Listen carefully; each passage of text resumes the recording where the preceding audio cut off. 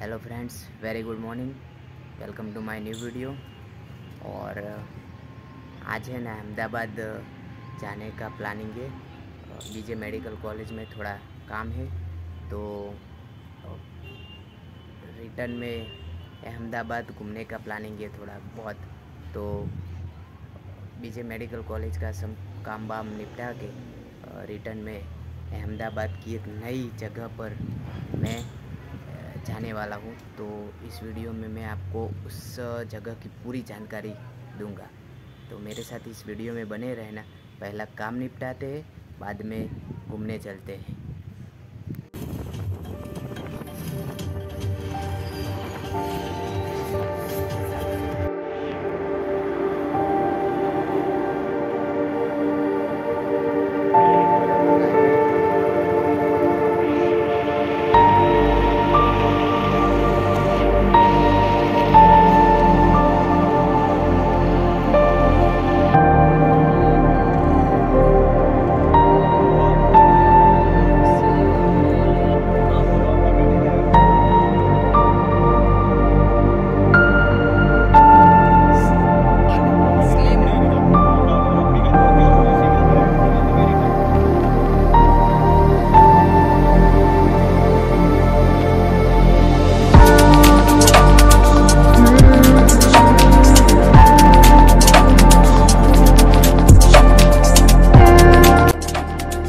अहमदाबाद के अंदर एंट्री ले चुके हैं। और सामने जो पुल दिख रहा है वो है मेट्रो का।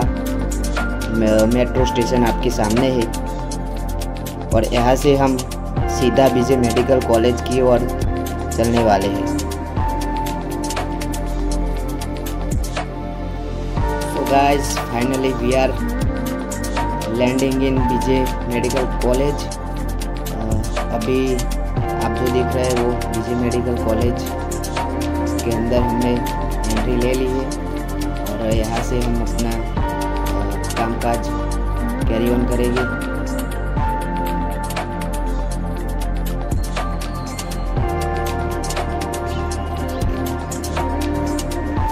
बीजे मेडिकल कॉलेज में हम पहुँच चुके हैं।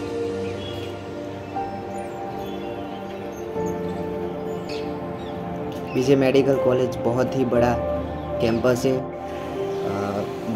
मेडिकल की पढ़ाई करने वाले सभी स्टूडेंट यहाँ से ही पास आउट होते हैं।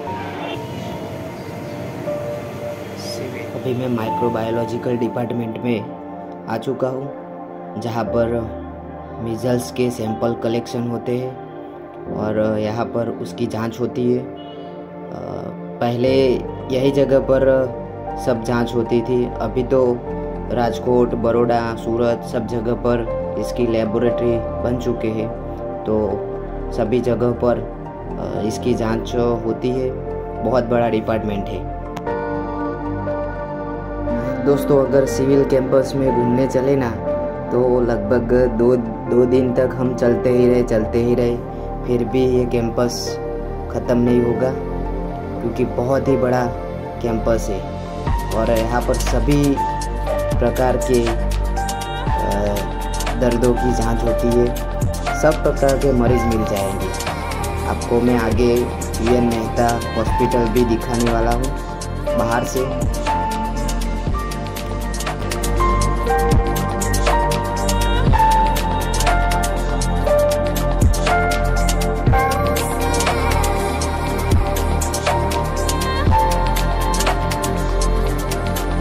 दोस्तों, ये है U N Mehta heart institute. हृदय, किडनी, कैंसर जैसे बीमारी से कोई जूझ रहा है तो उस बंदे को इसी अस्पताल में आना चाहिए, क्योंकि दिल्ली के एम्स जैसा फैसिलिटी इसमें मिलता है, और निशुल्क है सभी अंदर से। ऑपरेशन भी मुफ़्त में होता है, और मैं पहले भी अंदर एक बार जा चुका हूँ। और मैंने वहाँ की फैसिलिटी देखी है। एकदम बेस्ट फैसिलिटी है। मैं तो सबको यहीं पर आने की नसीहत दूँगा।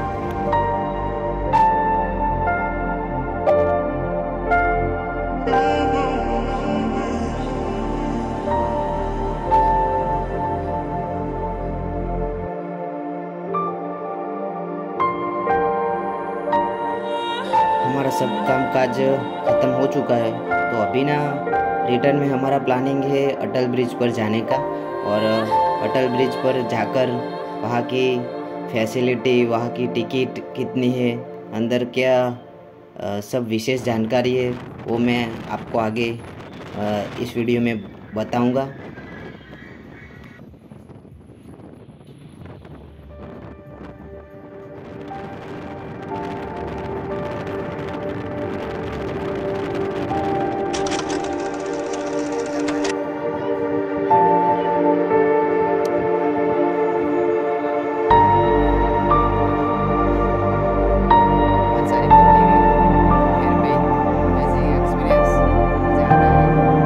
दोस्तों, अटल ब्रिज का नाम हमारे पूर्व प्रधानमंत्री अटल बिहारी वाजपेयी के नाम पर से रखा है। साबरमती नदी के ऊपर इस पुल को बनवाया है।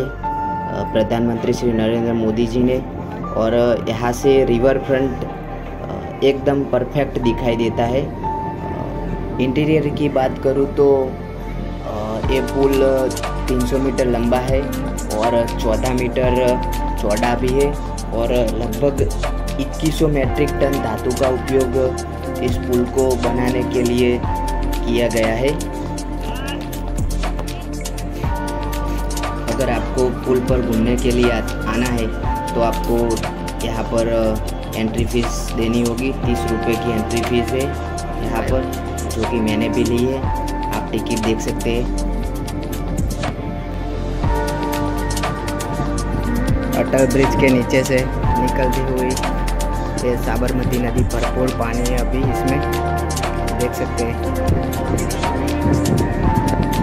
बहुत ही बढ़िया व्यूज़ हवा भी बहुत अच्छी चल रही है।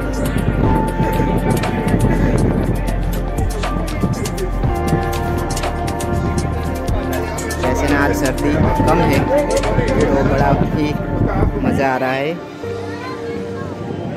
दोस्तों, मुझे बहुत ही बढ़िया लगा कि ब्रिज के ऊपर दो तीन स्टॉल है चाय कॉफ़ी नाश्ता, जो जो जो कुछ भी आपको चाहिए। अगर आप घूमने के लिए आए और घूमते घूमते थोड़ी बहुत भूख लग चुकी है तो यहाँ पर samosa tea coffee veg puff veg pizza सब मिल जाता है यहाँ पर। लेकिन इसकी कॉस्ट मुझे बहुत ही ज़्यादा लगी। लेकिन बढ़िया है। अगर आपको कुछ भी ना लेना हो तो सिर्फ़ पानी की बोतल भी आप ले लीजिए।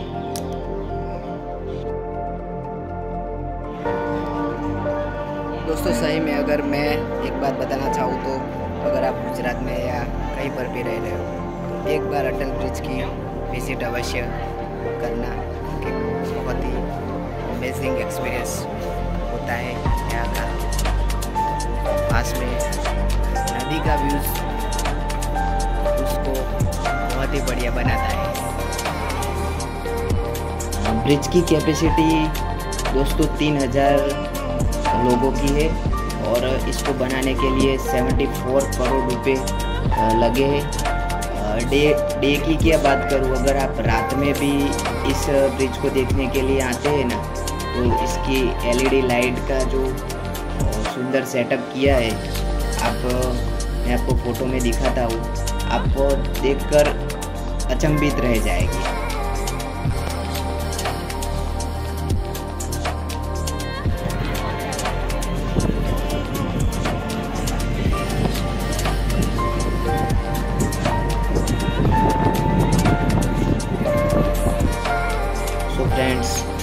फाइनली धीरे धीरे हम यहाँ से बाहर की ओर प्रस्थान करते हैं, क्योंकि बहुत देर हो चुकी है। लगभग यहाँ पर ही एक घंटे हमने बिता दिया है तो अब हम चलते हैं। अटल ब्रिज घूमने के बाद अपना हम यहाँ से बैक टू होम करेंगे, क्योंकि ना टाइम भी बहुत हो चुका है। तो मिलते हैं नेक्स्ट वीडियो में। जय श्री राम।